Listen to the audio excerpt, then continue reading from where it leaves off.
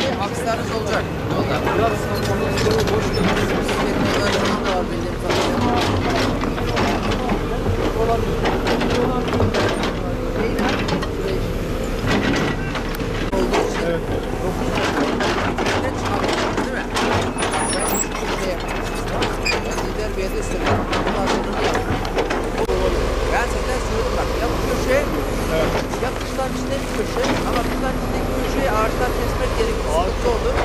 Buraya 100 buraya koyduğumuz seyir terası hem denizi kom, panoramik olarak hem bu tarafı panoramik olarak görülen.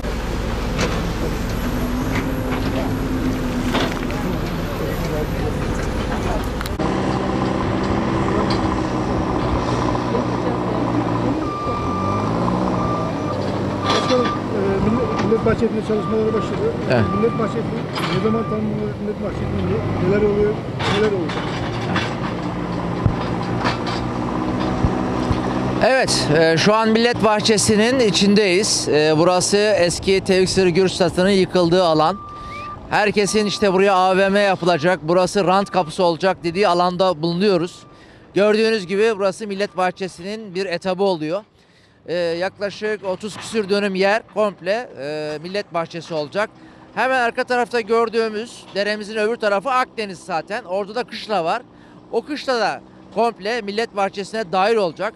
Az önce mühendis arkadaşlarla onu görüştüm. Şuradan direkt e, köprüyle inşallah kışlanın içine gireceğiz. Dolayısıyla hiçbir entegrasyon sorunu olmadan burada gezen vatandaş, bisikletini süren, yürüyüşünü yapan vatandaş köprü üzerinden de ikinci etap olan e, kışlanın içine girecek. Orada da rahatlıkla gezecek. Orası da Millet Bahçesi'nin içine dahil oldu. Bir de daha ileride Mersin halkının bildiği Aqua Park denilen alan var. O bölgede Akdeniz Belediyesi sınırlarının içinde. Asıl büyük etap orada. Orası da Millet Bahçesi oluyor. Sosyal tesislerin olduğu ve insanların rahatlıkla oturacağı, dinleneceği, bir şeyler yiyip içebileceği, sohbet edeceği alanlar olacak. Az önce arkadaşlara da söyledim. Şu köşede de bir seyir terasımız olacak. Dolayısıyla vatandaş buraya geldiğinde 360 derece panoramik bir görünüm elde edecek. Hem burayı, hem kışlayı, hem öbür tarafı hem de denizi komple görerek güzel bir seyir terası da olacak. Toplamda burası 140 dönüm bir alan. İnsanların içinde kaybolacağı, sabahtan akşama kaybolacağı, çiçeklerin, böceklerin,